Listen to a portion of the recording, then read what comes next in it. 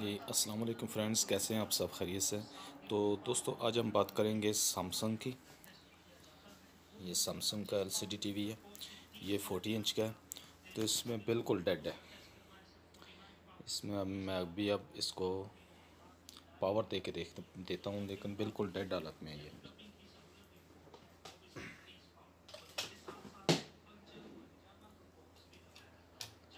Power दे दिया। बिल्कुल कुछ भी इसका जो कोई एलईडी वगैरह नहीं आ रहा है, यहाँ पे कुछ भी नहीं आ रहा ना। बिल्कुल डेड हालत में। तो पहले तो इसका मॉडल देखता हूँ, मैं दिखा देता हूँ आपको इसका मॉडल कौन सा है। ये इसका है।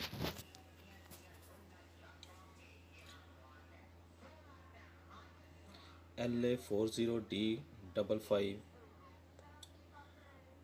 double five zero K seven R ये इसका मॉडल नंबर है। आप देख सकते हैं। ये भी इसका मॉडल और सीरियल नंबर वगैरह वर्जन वगैरह सब कुछ दिया हुआ है उन्होंने। तो सबसे पहले इसका बैक कवर रिमूव करते हैं। रिमूव करने के बाद इसको देखते हैं कि इसमें प्रॉब्लम क्या है। कहाँ पर है। पावर सप्लाई प्रॉब्लम हो सकती है।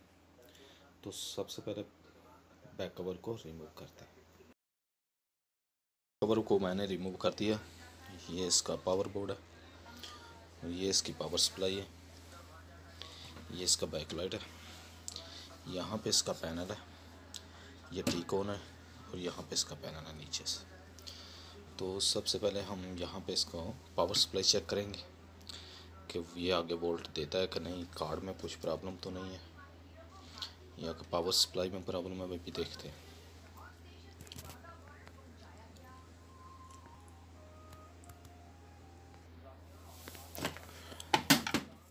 पहले हम इसके स्क्रू रिमूव करते हैं।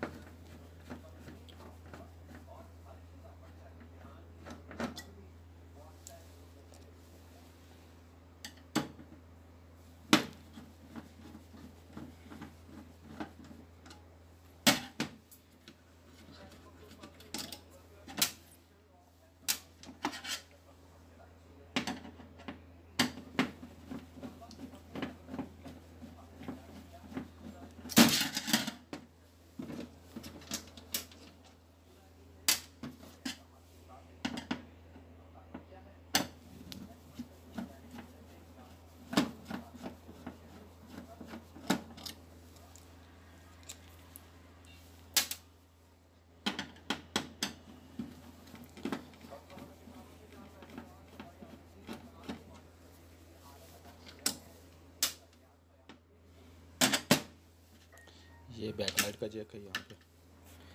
ये बोर्ड को जाता है मेन बोर्ड को। इसको भी रिमूव करते हैं।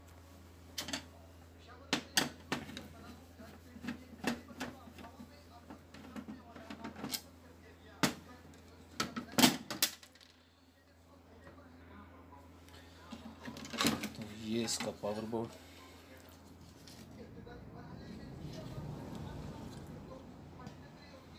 यहाँ पे इसको चेक करते हैं।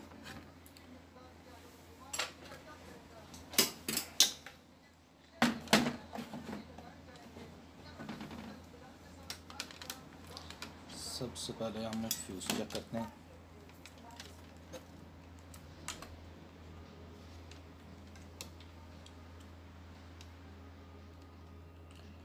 हाँ फ्यूज़ भी जला हुआ है इसका। तो फ्यूज़ किस वजह से जला, ये अभी आप देखते हैं कि इसमें स्टेप बाई स्टेप इसको देखना पड़ेगा। ये एक छोटा आईसी लगा हुआ है यहाँ पे। तो ये ट्रांजिस्टर लगे हुए हैं यहाँ पे। ये भी ट्रांजिस्टर लगे हुए हैं। एक ये एक ये। एक ये फ्यूज़ है यहाँ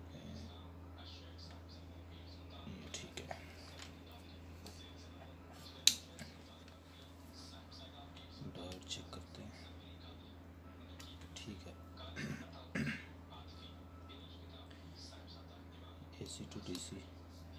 Ok.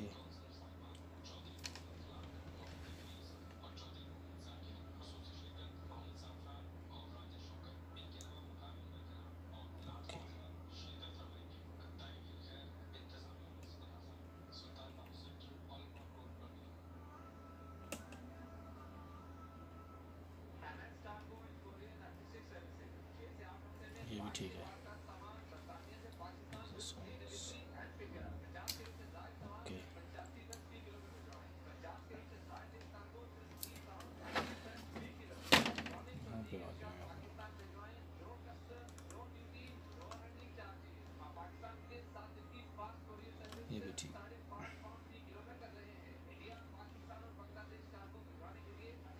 इसका ये ट्रांसटर जला हुआ है, ख़राब है इसका। जिसकी वजह से ट्रांसटर ख़राब होने की वजह से इसका फ्यूज़ भी जल गया। तो अभी आपको दिखा देता हूँ कौन सा। ये ट्रांसटर लगा हुआ दो लगे हुए हैं। ये है कौन से? देखते हैं नंबर क्या है इनका। ये सिक्स एंड सिक्सटी के लगे हुए हैं। सिक्स एंड सिक्सटी के। ये दोनों लगे हुए हैं। इसमें एक ख़राब है ये वाला। तो अभी हमें इसको रिमूव करके इसकी जगह पे हम दूसरा कोई भी लगा ये सिक्स अम्पेयर का लगा हुआ है। यहाँ पे हम नाइन अम्पेयर का भी लगा सकते हैं। तो फ़िलहाल देखते हैं। नाइन अम्पेयर का है मेरे पास तो मैं वो उसको यहाँ पे ऐड करके देखता हूँ।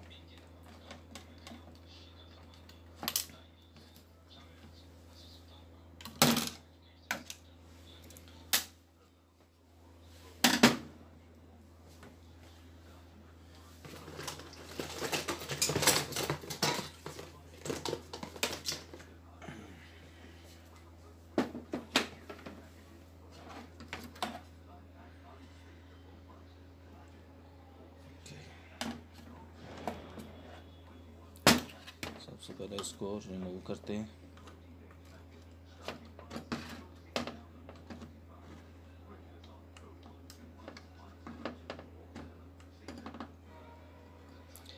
ये पहले भी चेंज हुए हैं यहाँ पे। पहले भी यहाँ से रिपेयर हो चुका है ये, कहीं न कहीं से। ये नंबर शायद नज़र आए यहाँ पे। ये सिक्स एंड सिक्सटी का लगा हुआ है ठीक है? सिक्स एम्पेयर और सिक्सटीन वोल्ट का लगा हुआ है तो अब यहाँ पे इसकी जगह पे हम ऐड करेंगे, मेरे पास है नाइन एन फिफ्टी का शायद है। वो लगा के वो यहाँ पे ऐड करके चेक करते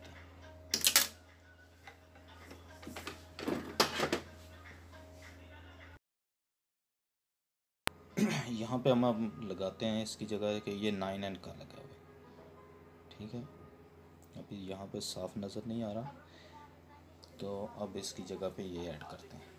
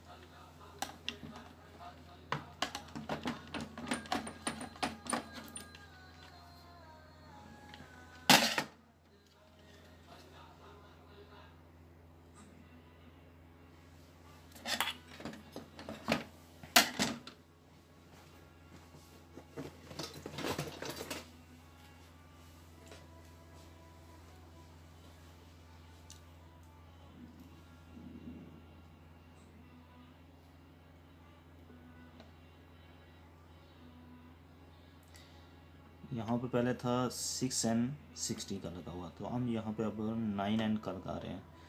नाइन अम्पेयर नौ अम्पेयर का, ठीक है? नाइन अम्पेयर का यहाँ पे ऐड करते हैं।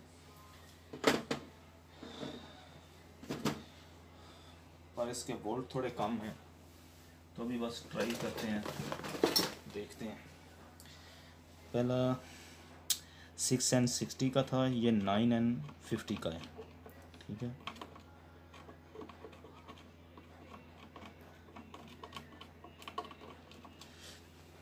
यहाँ से पहले भी रिपेयर हो चुका है। तो अभी मैं चेक करता हूँ इसको।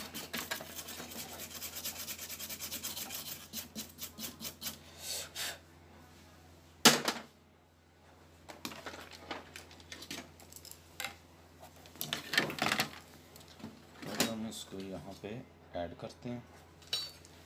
इस तरह।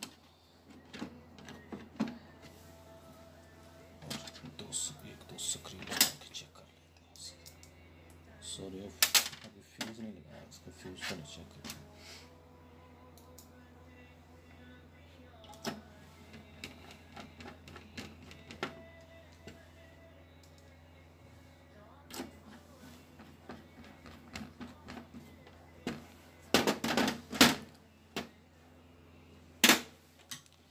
इसका ये फ्यूज़ भी जला हुआ फ्यूज़ भी इसका चेंज करना, ठीक है?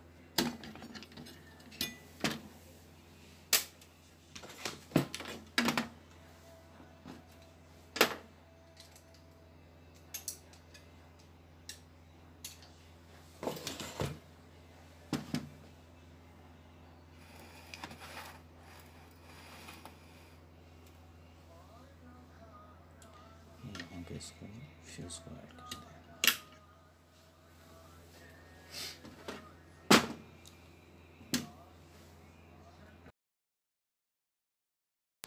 तो जी दोस्तों, मैंने इसका ट्रांजिस्टर चेंज कर दिया है इसमें पावर सप्लाई में।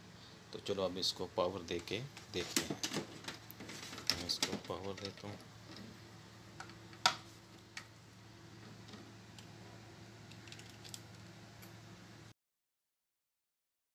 आप देख सकते हैं हमारा सेट ओके हो चुका है। ये देख सकते हैं।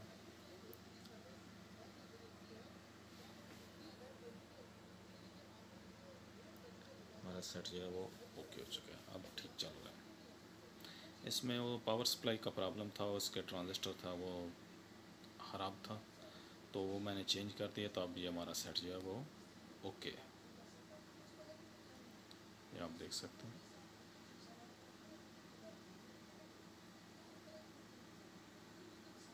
हमारा पावर सप्लाई का जो प्रॉब्लम था वो सॉल्व हो चुका। अब हमारा एल सी टी वी जो है वो ओके हो चुका है।